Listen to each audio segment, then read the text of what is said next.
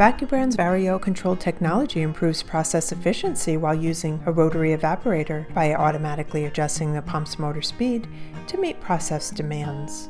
Using Vario controlled pumps result in optimal evaporation rates and shorter process times while eliminating the need for constant process monitoring. In contrast, using pumps without control require manual adjustments to the vacuum levels and can result in sample loss from bumping and foaming.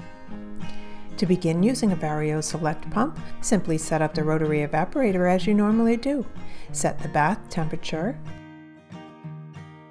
and rotational speed. Turn on the vacuum pump and controller. The VACUU·SELECT controller's intuitive touchscreen interface comes preloaded with common laboratory vacuum applications. To begin evaporative work, navigate to the Applications page select Automatic Evaporation, and simply press Start.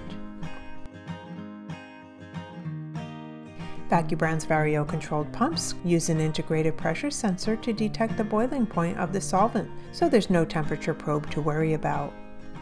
The integral pressure sensor eliminates the need for a solvent library or for the user to key in parameters. The motor speed automatically adjusts to pressure changes, keeping the rate of evaporation high while avoiding sample loss from bumping.